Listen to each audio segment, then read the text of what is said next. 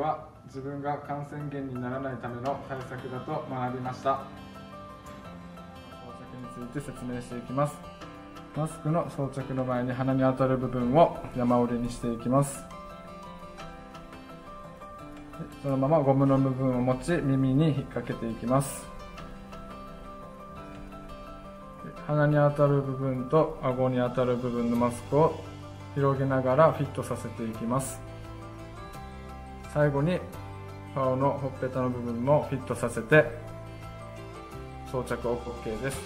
マスクを外すときは外側には触れないでゴムの部分を持ってくださいでそのままゴミへ捨てます。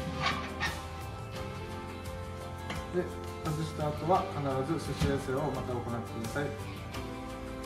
正しい付け方を心がけてください